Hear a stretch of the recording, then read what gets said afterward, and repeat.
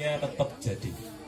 Sebagai pengantar sedikit, uh, terima kasih buat para akademisi baik dari Indonesia, dari uh, Australia, terima kasih atas kedatangannya dan para pelaku seni, para pegiat dan pengamat budaya dan dari pihak perbankan yang sudah berkenan mendukung acara ini. Sudah dulu Bapak Ibu?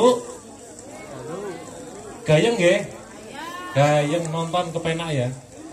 Kalau tadi uh, saya cerita sedikit dengan Pak Titut bahwa di sini itu suasananya kayak kampung halaman di masa lalu, kampung halamannya di masa lalu.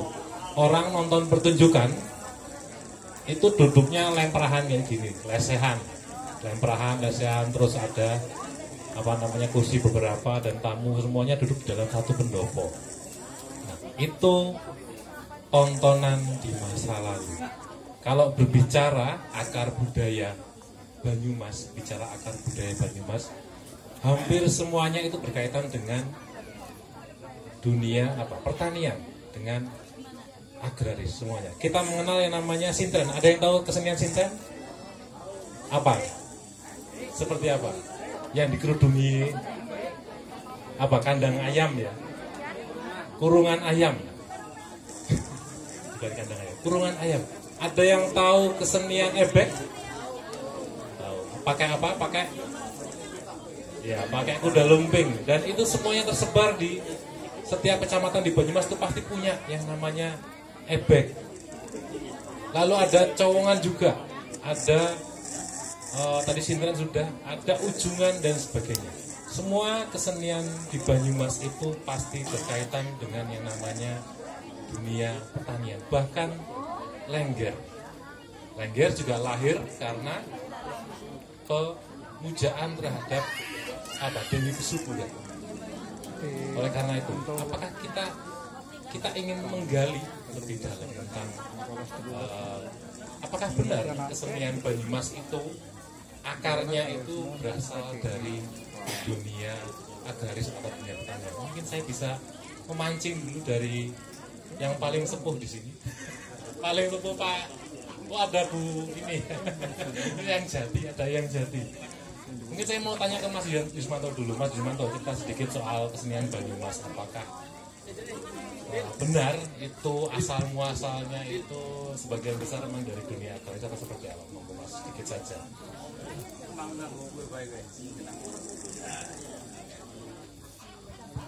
Assalamualaikum warahmatullahi wabarakatuh. Salam sejahtera untuk kita semuanya. Salam Om Swastiastu, Namo Buddhaya. Salam kebajikan. Rahayu. Salam budaya. Terima kasih. Eh, maaf saya mungkin agak berbicara eh, panjang karena tadi ditanya tentang aspek kesejarahan. Jadi di wilayah Banyumas ini memang eh, akar kultural kita berbasis pada akar budaya agraris, akar pertanian. Dan pada masyarakat yang hidup dalam lingkungan pertanian itu biasanya ada ritual-ritual ya seperti tadi dikatakan Kang Tidut ada cowongan manggil hujan lengger pun biasa untuk manggil pemujaan kemudian eh, untuk dharma bakti kepada bumi pada ibu pertiwi. Kalau di eh, negeri sana ada Dewi Kuargim di sini ada eh, ada Ibu Pertiwi Dewi Pertiwi yang juga disebut Ibu Bumi. Dan ini sudah berlangsung sebegitu lama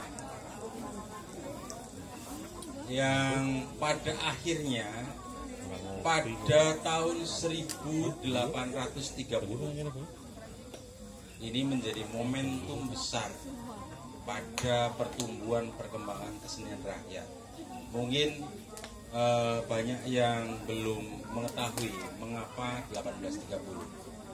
Karena 1830 adalah eh, saat berakhirnya perang Diponegoro dan pada waktu itu kolonialis Belanda hampir bangkrut di wilayah Asia juga termasuk di Nusantara termasuk juga di Jawa yang uh, kemudian pada tahun 1830 mulai menerapkan politik kultur stelsel atau tanam paksa. Nah, pada saat itu Banyumas yang merupakan wilayah jajahan Surakarta Hadiningrat ini kemudian diserahkan kepada penjajah Belanda. Nah, saat itu Belanda mulai masuk secara masif di wilayah Banyumas dengan membawa orang-orang pecinan dan orang-orang Arab di wilayah Banyumas Raya ini. Di mana ada pusat pemerintahan dan pusat industri pasti di situ akan ditanam orang Cina Tionghoa. Mereka diberi rumah sewa kemudian e, mereka dipasrai untuk mengelola perekonomian di wilayah tersebut ini sepertinya tidak ada hubungannya dengan lengger tapi justru inilah di sini titiknya. Di sinilah titiknya. Ketika mereka uh, para amtenar, para kolonialis dan para eh, orang-orang uh, Cina yang didatang di sini, mereka berkumpul, mereka bersosialisasi, kemudian mereka sering kumpul-kumpul bareng, uh, maka uh, muncullah produksi ciu, ciu di Cikakak, di Cilongok, ini kemudian ada tuak uh, yang dari badai ini mulai diproduksi di wilayah Banyumas Raya sejak 1830 nah mereka sering kumpul-kumpul minum-minum bareng main kartu. Seperti kemarin saya di grup cerita tentang main kartu dan hubungannya dengan apa kesenian rakyat uh, mereka kemudian uh, menciptakan yang namanya marungan. Istilah marungan ini adalah ketika uh, para antenar, para juragan dan lain-lain berkumpul di suatu warung, makan bareng-bareng, main teplek, main kartu, kemudian uh, di situ ada minuman keras seperti ciu, brandy, tuak dan lain-lain. Dan mereka biasanya akan memanggil lengger-lengger barangan. Lengger-lengger barangan itu akan dipanggil untuk meramikan. Satu hal yang harus dipahami adalah bahwa Banyumas Raya ini merupakan wilayah uh, antara wilayah antara dari dua kutub budaya yaitu budaya Jawa dan budaya Sunda. Di sini hidup berbagai macam tarian rakyat. Orang mung lengger tok. Ana lengger, renggong, ronggeng, doger, tayub, ledek, tandak, laisan, sintren, dan lain-lain. Baik yang dilakukan oleh laki-laki maupun oleh wanita.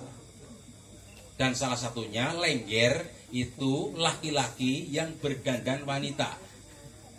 Diarani leng, jebulane jengger. Leng itu simbol dari kelamin wanita dan jengger itu simbol dari kelamin laki-laki. Dikira leng, dikira wanita ternyata ah apa? Dikira wanita ternyata pria. Leng, leng, uh, lengger. Tapi di luar itu masih ada banyak sekali ragam kesenian lain yang kemudian uh, ini mulai berkembang di situ. Dan tanggapan-tanggapan untuk resepsi pernikahan hajatan dan lain-lain masif sejak 1830 dan nama Lengger ini menjadi satu nama untuk semuanya. Ini baru tahun 1973 ini ini yang apa saya makanya saya nun sewu minta waktu agak sedikit panjang karena biar semuanya tahu e, bahwa meletusnya G30S tahun 65 sampai tahun 70-an ini semua mesin rakyat ini diberangus habis tidak boleh pentas.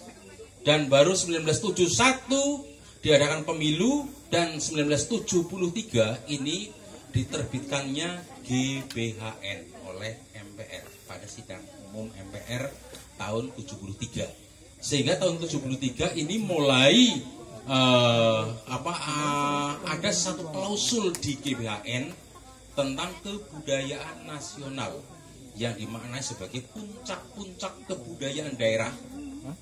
Dan sejak itu wilayah Banyumas Raya ini bupati-bupati di wilayah Banyumas Raya ini sepakat bahwa kita menggunakan satu istilah lengger. Meskipun itu dulunya ledek, tandak, ronggeng, renggong, tayub dan lain-lain semuanya disebut lengger yang pada waktu itu uh, iringannya ada yang dari ringgeng, ada yang dari gamelan, calung, angklung, krumpiung, cengklung. Semuanya kemudian diganti dengan calung. Dan calung pada waktu itu yang hanya sederhana berupa gambang, uh, penontrong dan kendang ditambah satu gong bumbung itu kemudian ditambahkan ada dendam, ada kenong, uh, gambangnya ada dua dan seterusnya. Uh, ini sejak 1973. Saya kira ini uh, kalau kalau saya terang, terangkan semuanya akan terlalu panjang. Uh, jadi makanya ini ini aja uh, untuk pembuka yang nanti uh, ke depannya mau apa uh, dari dari situasi sejarah yang seperti itu ke depannya mau apa kita bisa tangkapkan lagi. Terima kasih. Wassalamualaikum warahmatullahi wabarakatuh. Selamat malam. Mas Jumanto atas penjelasan yang cukup panjang. Kalau Bapak Ibu menebak ini yang di belakang saya, ini laki-laki atau laki-laki atau perempuan? Cewek. Ngacung. ya cewek. Oh ternyata cewek ini ya. ini cewek semua? Cewek semua ya. Tapi bohong. ya seperti itulah perjalanan kesenian Banyumas tidak lepas dari akar uh, masyarakat kita yang masyarakat Indonesia yang agraris terutama di budaya Jawa lalu kemudian berkembang berkembang tidak hanya menjadi sebuah kesenian yang tadinya tanggapan tapi di masa kini sudah mulai menjadi uh, apa namanya muncul dalam dunia seni pertunjukan mungkin kita bisa tanya Mas Otnil nih kebetulan yang lengger muda baru pentas dari mana Mas terakhir pentas dari mana terakhir kemarin? Hah? Di Solo, Solo International Performing Art. Iya, oke. Okay. Mas Otnil, uh, melihat perkembangan masa kini, masa kini ya, apakah uh, benar sekarang itu yang namanya seni uh, Banyumasan terutama yang tradisional ya, kita bicara seni tradisional dahulu, uh, sudah memiliki apa ya, kalau bisa dibilang harga ataupun memiliki tempat di masyarakat secara umum. Bisa dinikmati dan sebagainya dari segi seni tradisionalnya. Monggo masuk nih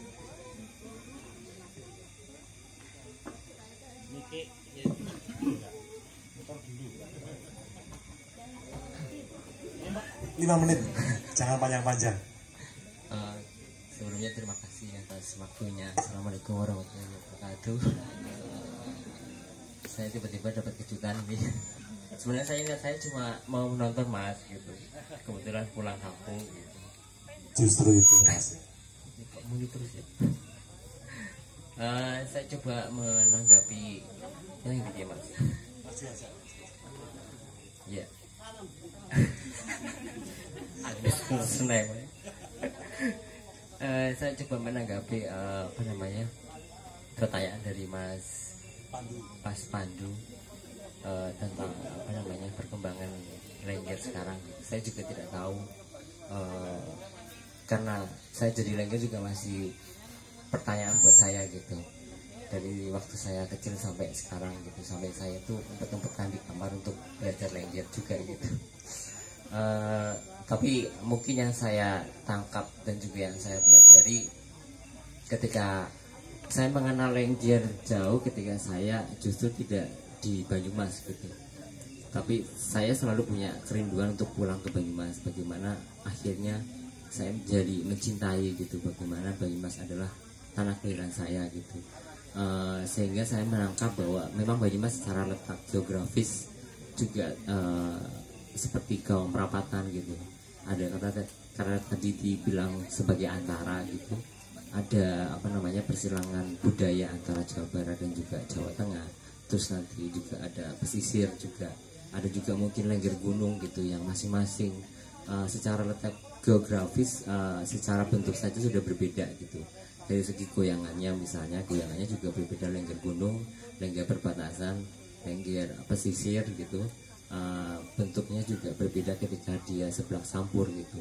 Termasuk uh, mungkin bambu juga pengaruh juga bagaimana akhirnya nada-nada uh, yang dihasilkan oleh para sinden atau pemusik juga berbeda-beda gitu. Kalau menurut saya diisi Surakarta pun gitu ada satu profesor yang meneliti tentang Banyumas juga tidak bisa saklek atau bisa uh, uh, konkret gitu. Karena Banyumas dari segi mana pun itu sangat beragam gitu letak geografisnya maupun secara uh, kulturasinya gitu. Jadi menurut saya uh, justru itu yang menjadi kelebihan dari kita sebagai warga Banyumas juga penari lengger di situlah kita bisa menggunakan uh, uh, apa namanya uh, kita kultur kita untuk bisa kita kembangkan sebagai saya sebagai generasi muda gitu. Bagaimana saya mengambil perspektif saya menjadi seorang lengger dan saya sebagai orang Banyumas sehingga saya bisa mengembangkan uh, adik-adik dari yang saya dapatkan menjadi seorang lengger untuk menjadi uh, bertransformasi menjadi inovasi yang baru tapi tidak meninggalkan apa yang sudah melekat di tubuh saya sebagai orang Banyumas gitu. Itu mungkin yang bisa saya jawab. Tambah satu pertanyaan. Sepengetahuan Mas Otnil selain Langger apalagi nih yang pernah dipentaskan di Solo mungkin atau di Jogja atau bahkan di luar negeri yang pernah yang pernah dengan tahu atau lihat kalau yang saya tahu mungkin di generasi saya saya cuma bisa melihat uh, Lengger ada apa namanya ujungan terus ada apa namanya begalan. Terus mungkin di daerah um, Kading Tugu Wali itu ada pakaian mungkin sekarang masih apa enggak. Kalau saya dulu KKN iya. iya. Terus ada juga uh, jemblungan gitu yang terakhir mungkin saya lihat di tambak gitu terus tapi yang lainnya uh, saya tidak begitu saya tidak mengalami itu gitu. tapi yang saya tahu memang ada banyak sekitar 170 yang didata gitu. Tapi kan balik lagi bahwa uh, masyarakat Banyumas berkembang juga cepat gitu. Selain administrasi selain agama dan juga pemerintah juga mempengaruhi perkembangan dari seni tradisi Banyumas ataupun budaya Banyumas termasuk lengger gitu. Pertanyaannya malah bagi saya apakah pemerintah juga mengerti lengger gitu? Yang mereka tuh seolah-olah menguri-nguri lengger tapi belum tentu mereka juga mengerti apa itu lengger gitu. Atau tanya aja bupatinya tahu lengger apa enggak gitu. Sebenarnya lengger itu apa gitu. Itu yang menurut saya pernah menjadi penting gitu. Ya sayangnya beliaunya sudah pamitan tadi. Iya. atau masih ada yang mewakili? Karena kebanyakan pemerintah ngomongin uri-uri kebudayaan Banyumas tapi mereka nggak tahu lengger itu apa gitu. Ya uh, terima kasih Mas Otnil ternyata uh, siapa ya Otnil ya Otnil Tasman Terima kasih Mas. Ternyata uh, masih banyak ya istilahnya kesenian-kesenian kita yang sebetulnya itu diapresiasi juga di luar Banyumas sendiri. Dan ada tadi juga beberapa kesenian yang sudah kita, sangat jarang kita dengar. Contohnya apa tadi jemblungan ya. Sudah sangat jarang kita dengar. Uh, terakhir saya ngutip datanya dinas itu tahun 2011 itu ada 64 jenis kesenian di Banyumas. Tapi yang mau punah itu 60 yang mau punah itu 60 ya kan? Yang 63 ya. Kecuali efek kecuali efek dan banyak banget ternyata banyak banget kesenian kita yang hampir punah seperti tadi istilahnya pakeong ada yang pernah dengar pakeong nggak ada yang pernah lihat pak pakeongan pakeong itu kesenian apa Bapak Ibu? Pakeong. Ya, itu mirip dengan cowongan ya, medium untuk mengundang uh, hujan. Mirip-mirip dengan cowongan. Tapi bedanya pelakunya ini simbah-simbah. Nenek-nenek simba-simba jadi nah sekelasnya Bu yang jati kan yang jati. Nenek-nenek yang kemudian dia bikin ritual. Itu pernah dipentaskan terakhir kemarin di Kota Lama Banyumas. Nah sekarang saya ingin ke pelaku lagi. Pelaku seni siapa ya? Pelaku seni Oh Mas Tora, oh iya Mas Tora nggak kelihatan ini. Atau yang jadi juga boleh. Yang jadi ini diam-diam begini penari loh. Ah pelukis, tapi juga bisa nari ya, bisa nari. Ke Mas Tora, Mas Tora, saya pengen tanya nih, eh, apresiasi atau perhatian dari pihak mungkin pemerintah, pemerintah desa atau dari pemerintah kecamatan sampai tingkat kabupaten. Selama ini apa sih yang pernah didapatkan oleh eh, seniman? Bentuk-bentuk perhatiannya itu bentuknya seperti apa saja?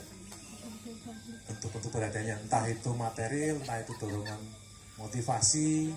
Seperti tadi kita dimotivasi untuk selalu membuat kegiatan semacam ini secara rutin. Saya seperti itu. Contohnya Assalamualaikum warahmatullahi wabarakatuh. Ini lagi maksudnya mau di mana? Ya, jadi tadi sudah dijelaskan hmm, banyak oleh Mas Otnil eh, tentang eh, latar belakang atau pengetahuan eh, seni lengger khususnya lengger Banyumas ini. Eh, dan menanggapi pertanyaan Mas Pandu tadi, bagaimana apresiasi dari pihak pemerintah baik dari desa, kecamatan hingga mungkin kabupaten, provinsi atau mungkin sampai ke nasional pusat ya. Kalau saya pribadi sih, eh, yang pertama eh, apresiasi dari tingkat desa ya, dalam hal ini mungkin dari eh, dari intern de- eh, desa saya sebagai contoh gitu ya. Eh, apresiasi bagus sih mas. Cuma kembali lagi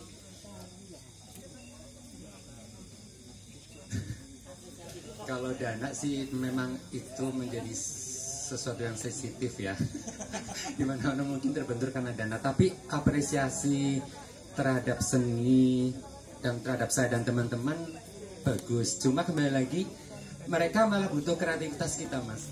Jadi eh, mereka apresiasinya bagus tapi pada dasarnya mereka butuh eh, butuh karya kita butuh kreativitas kita gitu. Jadi mereka eh, khususnya di pemerintah desa saya sendiri itu mm, lebih lebih apa sih namanya malah membutuhkan karya kita gitu. Dalam arti mereka taunya ya sudah sudah ada kayak gitu.